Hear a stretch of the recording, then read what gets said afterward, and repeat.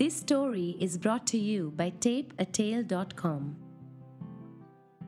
किसी महान पुरुष ने कहा है कि पहले तुम साइंस लेते हो और फिर साइंस तुम्हारी लेता है। So now that you know everything about science students आपको ये भी पता होगा कि हमें सिखाया जाता है कि learn the art of asking why ये क्यों होता है, वो क्यों होता है, पत्ते हरे ही क्यों होते हैं, आसमान नीला ही क्यों होता है, चाहे जितना भी ब्रश कर लो दांत एंड में पीला ही क्यों होता है? Everything and over smart that I am twenty four seven मेरे दिमाग में बस यही प्रोटोकॉल बचता था। जहाँ जाओ, जब जाओ, बस एक ही सवाल। क्यों? लेकिन जहाँ मेरे सवाल लाइफ के लिए रेडी थे, वही उनके जवाबों के लिए मैं रेडी नहीं थी। बस उसी फेस की बात कर रही हूँ मैं, जहाँ life equivalent and fully proportional to दर्द और अन्याय हो जाए। जैसे कि मानो तीन प्लेट पानी पूरी के बाद भी तुम्हें एक ही सूखा पूरी मिले और वो भी तुम्हारे हाथ से गिर जाए। That saturation point of misery but I started dealing with mental emotional spiritual intellectual blah blah लिकल ब्रेक डाउन्स एंड फिर पता चला कि the show must go on life में पानी पूरी से बढ़कर भी प्रॉब्लम्स होते हैं, ये पता चलने लग गया। और पता है, जब आप डिप्रेशन में होते हो और आपको नहीं पता कि आप डिप्रेशन में हो तो आपको लगता है कि चलो एक वॉक ले लूँगी तो ठीक हो जाऊँगी। वो बेस्ट फ्रेंड है ना, जिसकी लाइफ में खुद के लगे पड़े, उससे टेट टॉक ले लूँगी तो ठीक हो जाऊँगी। गोवा ट्रिप पर चली जाऊँगी तो ठीक हो जाऊँगी। मैंने भी यही सब किया और गोवा के नाम पे लोनावला चली गई बिकॉज़ मम्मी नहीं मान रही थी। चली गई थी मैं टाइगर पॉइंट पे अपना रियलाइजेशन पॉइंट ढूँढने।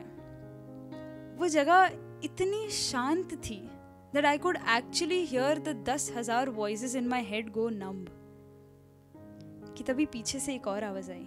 ए, रेलिंग पे लीन मत करो। एक पैर फिसला ना तो नीचे नहीं डायरेक्ट ऊपर चली जाओगी। क्या मतलब? अरे, मर जाओगे मर जाओगे। अब ऐसे तो एग्ज़ाम हॉल में मेरा दिमाग ब्लैंक होता है, लेकिन अब हुआ मेरे अंदर का science ness trigger out of all the gravity and physics based questions that I could have asked मैंने पूछा वाई टू नॉट डाई क्यों नहीं भाई? Isn't that the most peaceful place one can be in वहाँ पे मेरे सारे problem सारे गम गायब। इस जीवन में अब क्या गलत है, क्या सही, हम मुझे पता नहीं। हर पल, हर मोड़ पर बस एक सवाल है वही, कि अब जिए तो जिए कैसे और मरे तो क्यों नहीं? जब ज़िंदगी में रिलेशनशिप्स में अंडरस्टैंडिंग और लॉयल्टी के नाम पे खाली बीटी मिल रहा हो तो वाई टू नॉट डाई जिस पैशन के लिए तुमने प्रोफेशन छोड़ दिया, दुनिया से लड़ लिया, उसी में सेल्फ डाउट और एग्जिस्टेंशियल क्राइसिस होने लगे तो वाई टू नॉट डाई जिस प्यार ने तुम्हारा ईमान तोड़ दिया, जिसके लिए तुमने अपना बचा कुचा सब छोड़ दिया, वही तुमसे आकर कहे कि I don't love you in that way तो वाई टू नॉट डाई जिन लोगों से तुम्हें जीने की उम्मीद मिलती थी, वही ज़िंदगी छोड़कर चले जाए तो वाई टू नॉट डाई ये सोच ही रही थी कि पीछे से फिर एक आवाज़ आई। और मैंने भी चिल्ला के बोल दिया हाँ ना अंकल जा रही हूँ। फिर पता चला कि अंकल नहीं थे, बल्कि एक चार साल की छोटी सी बच्ची पिंक फ्रॉक में मेरे तरफ़ भागते हुए आई और मुझे एक फूल देने लगी।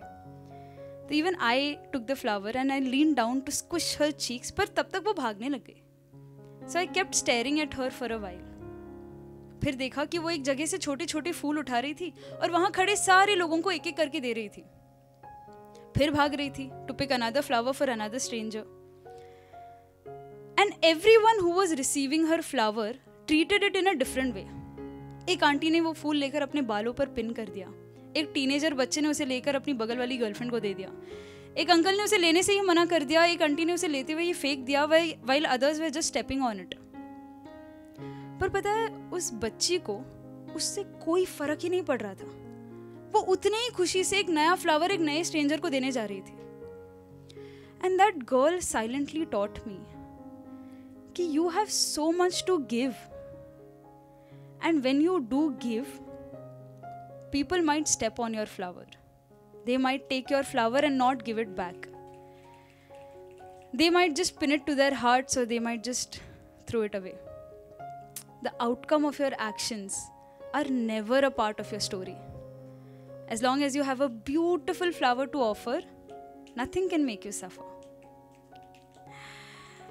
कभी सोचा है ये कसौटी ज़िंदगी की सास भी कभी बहू थी आई कुटिकाए करते अनुपमा इन सब एपिसोड्स में कभी भी कोई भी प्रॉब्लम शांति से सॉल्व क्यों नहीं होता है? हर एपिसोड में हर नया प्रॉब्लम फिर एक ऐसा एपिसोड आएगा, जहाँ सब ठीक हो जाएगा, सब खुश, सारे प्रॉब्लम्स खत्म। और फिर पता चलता है कि वो तो लास्ट एपिसोड है। तब समझ आया कि प्रॉब्लम्स होना ज़रूरी है। प्रॉब्लम्स खत्म हो गए तो धुम तना ना ना धुम तना ना करके अगले एपिसोड में क्या दिखाओगे? कहानी आगे कैसे बढ़ेगी? एंड गेस वॉट ये सोच ही रही थी कि मुझे मेरा वाई मिल गया। द वाई टू लिव सुनोगे? There are mornings where I just don't want to wake up I don't want to open my eyes I don't want to face the world but then after a few extra snoozes and a deep breath of सह लेंगे थोड़ा I find a reason to try and that is my why For a girl like me that enjoys staying within her walls, puns intended, when I finally manage to reach the top of a summit, when I wait for hours to capture the million shades of the sunset, when I freeze my entire body just so I don't disturb that perfectly peacefully sitting butterfly on my shoulder, there is something in the beauty of nature that makes me want to cry. And that is my why. When the world just doesn't seem safe anymore, when the world seems unfair and reality is just dark, when negativity seems to win and positivity is just weakening, I struggle with my spirituality. Yet there is something that joins my hands in hope, that makes me look up the sky, and that is my why. मर जाएंगे यार कल परसों में कभी वो तो हमारे हाथों में कभी था ही नहीं टपक जाएंगे खुशी से किसी और दिन पर आज अभी इस पल को जी तो लेते हैं और इस पल को ऐसा जिएँगे ऐसा जिएँगे ना कि कल मौत भी आ जाए ना तो इसी पल को याद करके आबाद हो जाएँगे। And here's my why to not die thank you